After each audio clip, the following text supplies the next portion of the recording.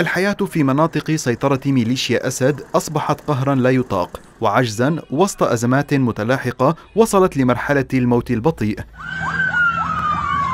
إحصائيات وزارة صحة أسد كشفت عن تزايد حالات الوفيات وأعداد المصابين بالجلطات واحتشاء العضلة القلبية بين الشباب سببها الضغوط النفسية والمعيشية المتفاقمة التي أثقلت كاهلهم.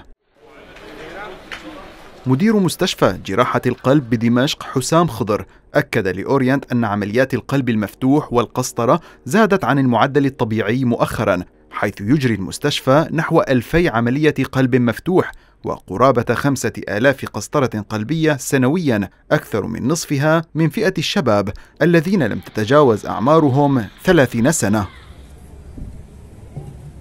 الطبيب ياسر في مناطق أسد قال لأورينت إن الأرقام السابقة تقتصر على مشفى دمشق فقط بينما الحالات المسجلة أعلى بكثير مشيرا إلى أن زحف المرض نحو الشباب يعود إلى أسباب كثيرة أهمها العامل النفسي الذي أنتجته الأوضاع المعيشية والظروف الاقتصادية. لكن المضحك المبكي أن الجلطات لم تعد جوهر الأزمة بالنسبة إلى الأهالي بقدر تكاليف العلاج حيث تتراوح تكلفة مراجعة طبيب نحو 60 ألف ليرة.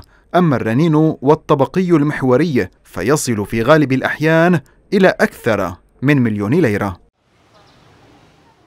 كما أن معظم مشافي جراحة القلب في مناطق أسد مثل الباسل المعطل دائما ومشفى دمشق وغيرها ترفض استقبال المرضى إلا في حال وجود واسطة قوية. ما يضطر قسما كبيرا من المرضى لإجراء العمليات في المستشفيات الخاصة مرتفعة التكاليف ليتحقق المثل القائل فوق الموت عصة قبر